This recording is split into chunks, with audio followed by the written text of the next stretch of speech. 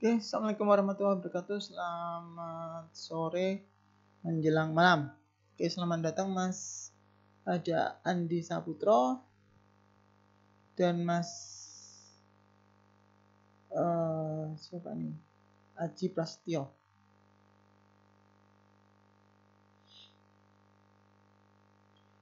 Oke, oh, itu benar ya SKS 192 ya? Bukan 182.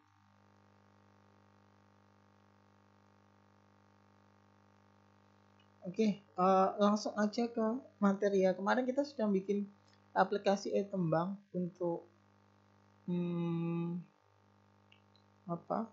Contoh menggunakan Android Studio ya. Menggunakan bahasa Java di mana kita bisa mengelola suara, mengelola uh, gambar untuk bikin suatu aplikasi yang sudah layak untuk digunakan. Nah, sekarang kita untuk yang sistem komputer. Sistem komputer karena base-nya uh, hardware-nya juga ada ya. Kita akan aplikasi Android yang berhubungan dengan hardware ya. Ini menggunakan teknologi yang namanya Internet of Things. Oke, sebelum lanjut saya jelaskan dulu apa itu Internet of Things. Internet of Things adalah suatu teknologi di mana kita bisa berinteraksi dengan perangkat uh, menggerakkan perangkat lewat jarak jauh yang mengirim data tanpa perlu kita langsung ada di sana ya. kemudian uh, seakan-akan teknologi akan teknologi IoT ini menjadi mata dan telinga tangan manusia dari jarak jauh kita bisa mengontrol, uh, memonitoring dua perangkat atau lebih ya menggunakan teknologi IoT ini. Nah, digunakan apa ya sekarang sudah pas banget di era COVID ini malah lebih tambah maju ya. Sekarang ada smart farming di mana perkebunannya tuh nggak selalu dia harus petani datang ke sana atau pekerja yang punya perkebunan itu ada di sana. Karena proses untuk pemantauan kondisi daun kepanasan enggak airnya ada atau enggak untuk nyiram itu bisa dipantau lewat jarak jauh.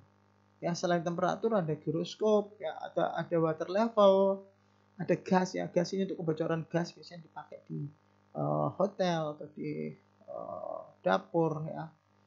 Karena kebocoran gas biasanya begitu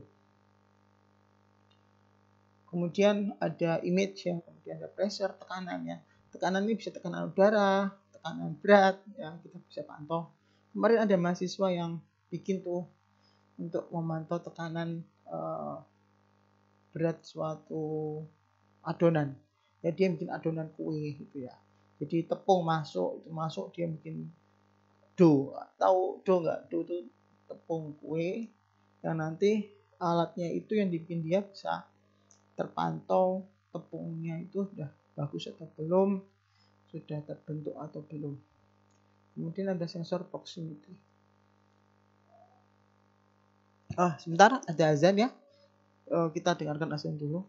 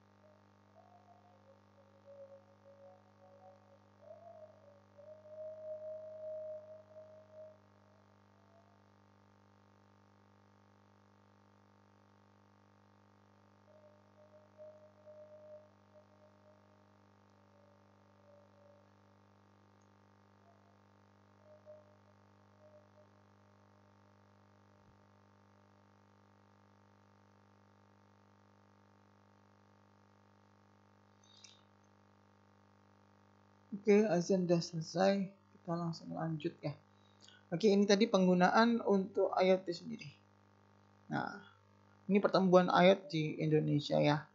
Eh, sangat-sangat uh, cepat sekali ya, apalagi di saat ini masyarakat mulai melek teknologi.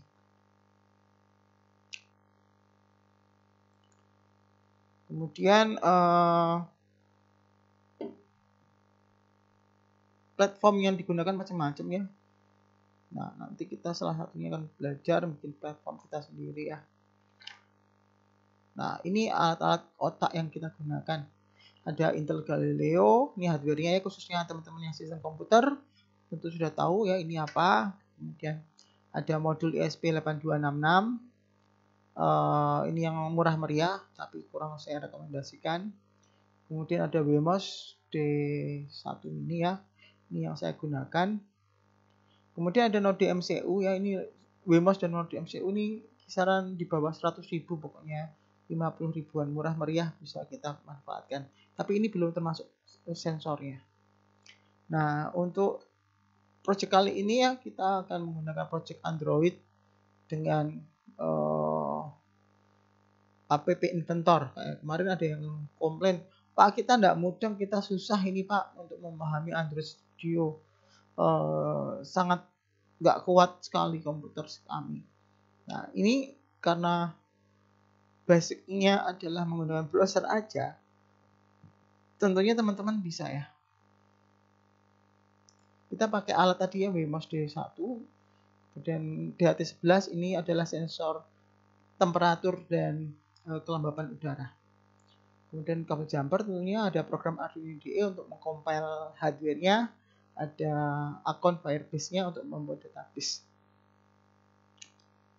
Uh, Firebase ya, sebelum kita masuk ke Firebase, kita bahas ke Firebase-nya dulu. Apa sih Firebase?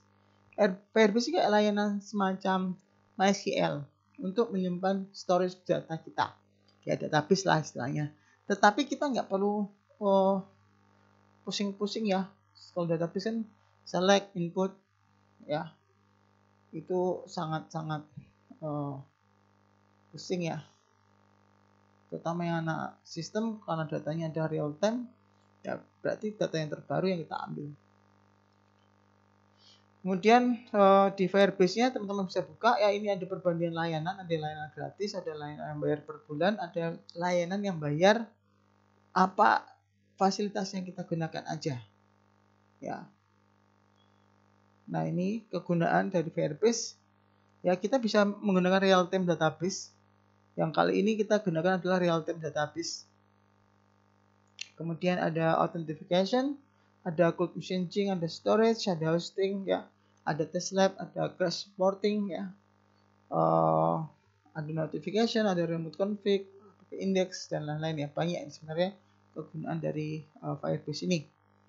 Nah ini teman-teman bisa baca ya kegunaannya yang saya sebutkan tadi ya uh, real time database yang nanti kita gunakan. Uh, di sini Firebase menyediakan library yang sangat-sangat mudah digunakan. Ya, dia sangat support untuk Java, ya PHP juga bisa digunakan. Ya. Kemudian uh, menggunakan NoSQL database ya, di mana data kita disimpan dalam bentuk node Ya, kemudian storage ya, gambar, audio bisa dilakukan juga di Firebase ini. Kemudian hosting ya, mirip kayak uh, hosting biasa lah ya, juga dapat dilakukan di Firebase. Bisa Anda baca semua fasilitasnya. Uh, juga mampu ada analytics support. Ini bisa memantau pergerakan data kita. Ya, kita dapat mengamati tingkah laku pengguna Oh, berapa sih pengguna yang mengakses data kita? Berapa sih yang ngambil data kita? Berapa sih yang mau mantau? Kalau memang di-share untuk umum. Ya, kelebihan dan kekurangan ini ya tanpa SQL. Jadi nggak perlu program-program kalau menggunakan Firebase ini. Ya, kemudian event oriented, build graphic editor, ya Power API sangat mudah sekali. Kekurangan ini ya uh, nodenya ditampilkan kita nggak tahu sintaknya bagaimana kemudian karena database-nya terpusat ya uh, ketergantungan kita terhadap servernya dari Firebase. Nah, kemudian kita ke, beralih ke Arduino IDE. Ini software yang nanti meng, apa, mengkontrol hardware-nya sebelum dikirim ke Android-nya. Ya, sini bahasa uh, teman-teman bisa download di sini ya main softwarenya tampilan seperti ini. Mungkin teman-teman yang sistem sudah paham sekali. Ini kayak saya jelaskan secara singkat dan uh, cepat aja. Ini ya fasilitas yang dipilihnya ada verify upload new open save. Ya ada serial monitor untuk melihat uh, data-data yang lalu lalang di hardware-nya. Ya bisa teman-teman lihat kalau sudah install pasti bisa Nah, awal Firebase-nya dulu aja kita bahas. Kenapa yang belum punya pengalaman semua, baik teman-teman sistem komputer ataupun teman-teman dari teknik informatika. Oke, ke Firebase. Teman-teman bisa buka nih firebase.google.com. Teman-teman bisa daftar menggunakan email Anda. Kemudian seperti gambar di depan ini, teman-teman bisa start project. Teman-teman bikin project. Nah, ini konfigur Google Analytics-nya ada pilih ya. Kebetulan saya sering menggunakan jadi sudah dan Sasmoko itu sudah ada di situ. Ya kita pakai create project. Ya. Kemudian uh, real time database kita pilih itu ya yang kiri yang warna biru itu. Menu-menunya ya ada menu home ada menu setting ya. Itu bawahnya setting itu macam-macam database ya nanti pas kita buka kita akan bahas ya kemudian kita pilih setup database-nya location kita ya. Uh, Indonesia kayaknya belum ada kemarin terakhir uh, adanya cuma Singapura ya. Kita ambil aja yang paling dekat.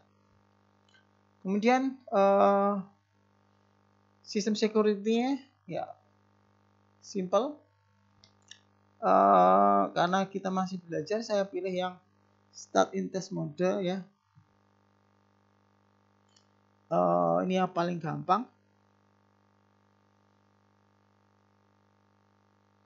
tapi kurang aman. Ya tapi nggak masalah sih. Ya anda juga bisa bisa uh, yang start lock mode itu yang tertutup juga boleh. Ya. Ini alamat Firebase-nya sudah teman-teman lihat ya. Di atas tuh ada http app webhost ini nama nama link dari Firebase Anda. Ya nanti akan diminta oleh baik Android ataupun dari Arduino-nya. Pasti diminta. Ya itu nanti bisa ada copy di sana. Nah, ini sudah selesai. Kita sudah punya akun di Firebase yang real time database. Kemudian di bagian real time database ini kita klik ya yang di sini ya. Uh, rule, rule itu diklik. Nanti masuknya seperti ini ya edit rule. Nah, ini kita rubah edit rule-nya. Agar fungsinya apa? Firebase-nya bisa terbaca oleh pihak di luar dari Firebase. Kemudian uh, database security-nya ada di setting itu yang bawah gambar rumah itu kita pencet dulu. Kemudian service account masuk. Kemudian di database secret. Nah, yang titik-titik itu uh, apa kode dari database kita. Ya. Kemudian pada Arduino uh, karena kita menggunakan sensor suhu di HT11 teman-teman jangan lupa kita menambahkan library Firebase library JSON dan simple DHT untuk membaca DHT11 ini yang saya gunakan. Ya. Cara menambahkannya simple buat teman-teman yang belum pernah. Uh, kita ke tools manage library tambah. Ya tinggal kita tulis ya ESP8266 Firebase masuk. Kita install. Kemudian uh, simple DHT juga sama kemudian ada Firebase JSON masuk. Nah setelah library kita masukin kita mulai coding coding ya. Nah tapi sebelumnya jangan lupa ini standar untuk uh, apa IDE-nya ini biar membaca hardware yang terkoneksi oleh ESP8266 maka kita tambahkan ini ya arduino.esp8266.com URL-nya itu ya kita tambahkan kemudian kita save oke uh, perangkat kita sudah bisa ready untuk membaca aplikasi IoT. Nah, kemudian kita kita sambung-sambung nih uh, hardware-nya. Ya, WMOS dan DHT11-nya. Ground ke ground, VCC ke 5 volt, pin 4 ke data. Ya, seperti ini gambarannya. Simple. Nah, nanti data dari alat ini yang akan dikirim ke Android. Ya, dikirim ke Android. Nah, scriptnya uh, ini script yang di Arduino-nya ya, kita oprek sebentar. Kita panggil dulu tadi library-nya ya, include Firebase 8266 ya. Uh, WiFi juga ya kita panggil karena nanti dari alatnya ini akan terkoneksi ke WiFi kemudian include DHT.h ini untuk uh, DHT 11 nah define host ini yang tadi alamat URL tadi yang ada di uh, Firebase-nya kemudian own ini yang di database tadi ya. Database-nya ini own nah wifi SSID ini wifi saya dan passwordnya dari wifi saya. Define DHT pin 11 uh, pin 4 maksudnya pin 4 ini uh, kabel ini dari DHT11 masuk ke pin 4 eh, define type ini tipe DHT-nya apa? Karena DHT ada macam-macam ada DHT11 ada DHT22 kita pakai 11 oke kemudian kita uh, panggil ya. Firebase Firebase data Firebase data Firebase JSON JSON ya. Uh, deklarasikan. Baru nih jalannya program. Void setup ini ketika mulai. Void setup kita menggunakan clock 9600 ya terus kita panggil DHT bikin nanti artinya label DHT akan terpanggil. Kemudian kita panggil uh, wifi kita. Karena perangkat ini harus koneksi wifi dulu baru bisa ngirim data. Nah, wifi kita panggil ya. Wifi SSID nya berapa wifi masuk berapa. Nanti bisa dicek di serial monitor di bagian Arduino nya nanti kalau connecting to wifi connect oh berarti sudah terkoneksi uh, kemudian kalau enggak ya bawahnya ya. Kemudian kita panggil uh, Firebase nya ya Firebase host-nya dan Firebase on-nya biar terkoneksi ke Firebase. Ya kalau sudah terkoneksi ke Firebase baru nih ke sensornya. Ya kita panggil sensor DAT 11 ya. Di mana H adalah humidity dan uh, T adalah temperatur, suhu. Ya. Suhu bisa uh, sifatnya pakai apa? Celsius. Nah, kemudian untuk ngecek biar salah sudah terbaca apa enggak ya kita bikin serial printnya untuk serial monitornya. Karena untuk mastiin apakah perangkat ini error atau script kita yang di uh, apa ar, apa ar, Androidnya yang error. Ketika data nggak terkirim ke Firebase. Ya. Macam-macam karena sebabnya. Kemudian uh, ini script mengirim data ke Firebase. If firebase.set float ya set ya set. Ini kita bikin folder. Ya folder di Firebase nya adalah firebase.iot slash suhu. Ini yang kita bikin nanti di Firebase nya jadi di real time database nanti ada folder namanya Firebase IoT nanti di dalamnya ada folder ada data suhu. Ya. Ini kita masukin seperti ini. Kemudian di bawahnya sama juga Firebase uh, IoT slash kelembapan. Karena kita mau ngirim dua data uh, suhu dan kelembapan. Nah kemudian ini ke Andro, uh, Androidnya ya. Kita Androidnya pakai app inventor. Teman-teman bisa uh, buka ini. Ya. Buka app inventornya. Kemudian teman-teman bisa ke sini ya.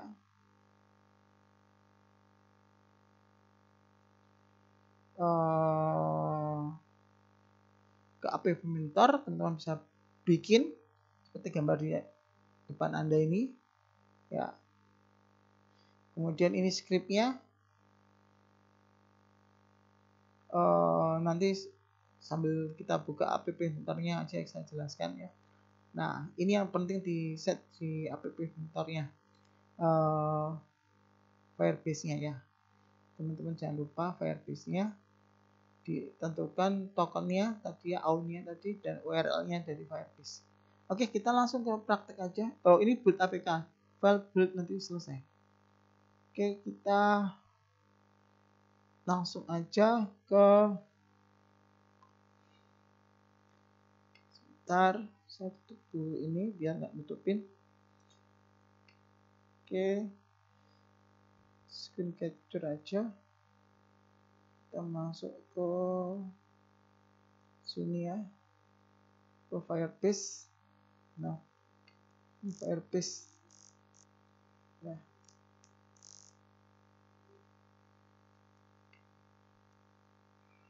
ini Firebase saya saya banyak banyak akun ya di sini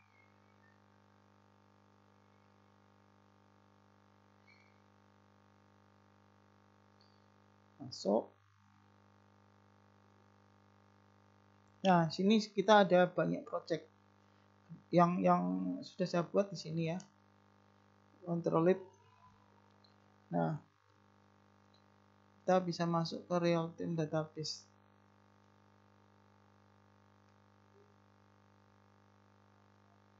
Nah ini uh, kosong ya. Ini tidak uh, ini belum berwarna karena belum ada data yang masuk.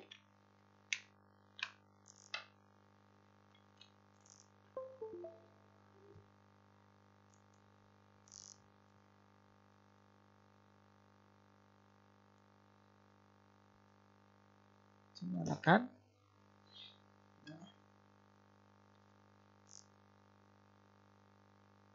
nah itu sudah masuk hardware-nya sudah terkoneksi. Nah nanti datanya akan terkirim ke sini Nah ini alamat URL-nya. Ya ini URL yang kita gunakan. Tadi yang di rule ini ya, yang kita ubah jadi seperti ini. Ya. Ini kita bikin open. Nah ini ada peringatan ya, karena kita pakai yang tes tadi. Ya. Ini kita buka biar bisa diakses. Nah ini untuk ngeset database-nya tadi untuk tahu uh, di sini ya. Project setting. Project setting masuk ke service account. Kemudian masuk ke database. Nanti di sini muncul. Ya ini ya apa uh, apa kalau ngopi ya. On kita ya on kita ini. Nah ini di database di Firebase. Uh, di app inventornya teman-teman bikin dulu nih tampilan seperti ini. Ya ini uh, interface-nya ya. Ada button ya tapi saya menggunakan ini pertama. Uh, layout dulu kita pasang di sini layout ya layout pakai horizontal ya di sini. Ini ya spasi biar ada jarak di atas. Kemudian kasih lagi di dalam horizontal alignment ini ada horizontal alignment lagi untuk ini ya. Kemudian kasih kasih lagi di dalamnya ada untuk label. Isinya ruang tamu ini. Ya, di sini labelnya ganti ya ruang tamu. Ya kemudian uh, ini ya jarak lagi. Kemudian untuk untuk uh, suhu ya. Ini suhu. Ini uh, level 5 ya.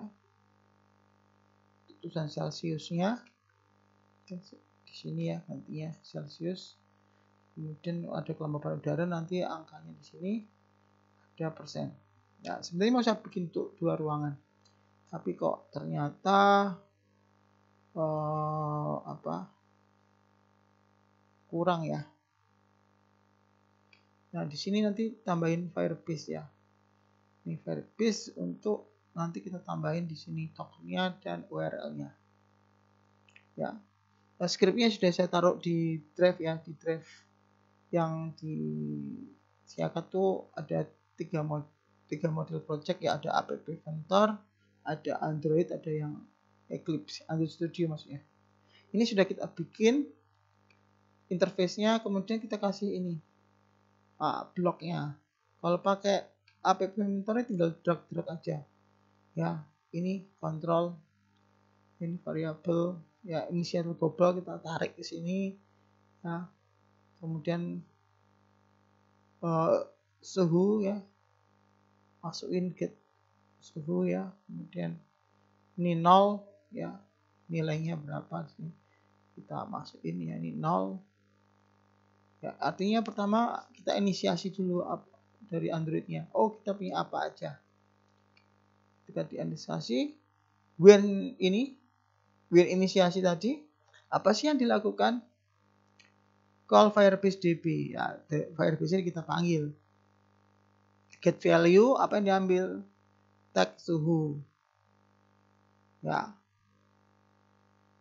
Kemudian get value tag lembapan. Ya. Get value itu ngapain? Nah di sini kita jelaskan. Ya ini sama ini ya. Klik tarik sini ya. If get tag uh, suhu ketika dia ngambil data suhu set suhu satu. Ya itu kan namanya suhu satu yang digambar tadi ya. Gambar tulisan angka itu suhu satu. Ya get value ambil angkanya. Jadi angka yang di firebase nya. Ya kemudian su ini harusnya su satu aja ya su dua untuk ruangan dua ternyata saya nggak punya itunya. Uh, sensornya kurang ya. Yang kelembapan juga sama ya, kemudian ini data change ketika mungkin ada data kan bisa naik turun berubah. Ya kayak di ini ya bisa jadi uh, real-time database-nya bisa naik turun ya. Eh, ini kan nilainya bisa juga naik turun. Oh bisa naik bisa turun. Bisa lembab bisa enggak. Oke uh, kita coba compile ya kita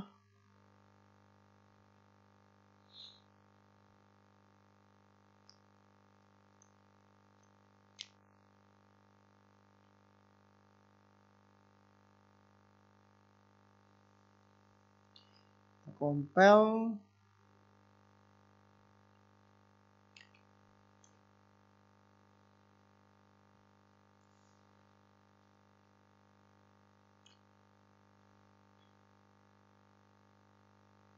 Nah ini contoh Androidnya ngambil data ke apa ke Firebase tadi ya. Teman-teman bisa lihat ya. Uh, ini sebentar kita download bisa nggak? Ya, kita download.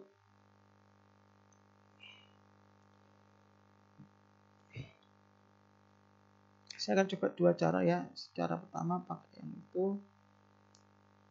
Cara kedua ini sudah saya install di sini ya. Uh, siapa tahu nggak nyala ya.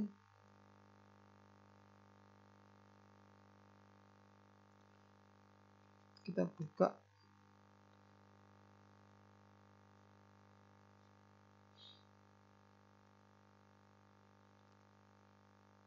kita tunggu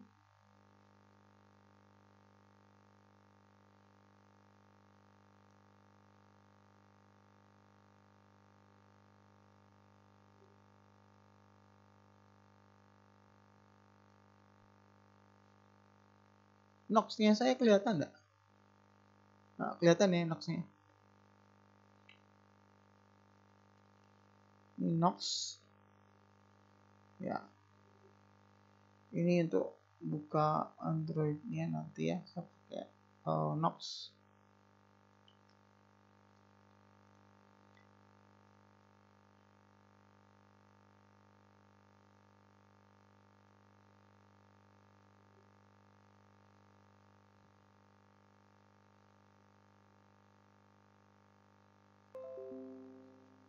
Ini sudah terinstall. Kita buka.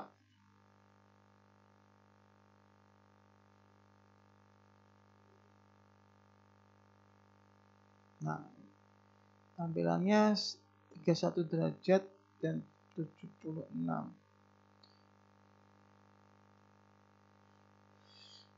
kita bandingin di sini ya. Nah, sama ya. Ya ternyata sama dari alat dan di database. 76 dan 31 artinya firebase-nya bisa kita uh, apa namanya kita tarik datanya ke sini. Ya. Jadi itu uh, penjelasan dari saya. Uh, ada pertanyaan? Kalau nggak ada saya cukupin ya. Mau habis waktunya is maghrib saya belum maghriban. Terima kasih semuanya. Uh, maaf kalau ada salah kata atau telat tadi ya. Saya ucapkan wassalamualaikum warahmatullahi wabarakatuh. Uh, jangan lupa mau kalau mau dibuka ya itunya contoh aplikasinya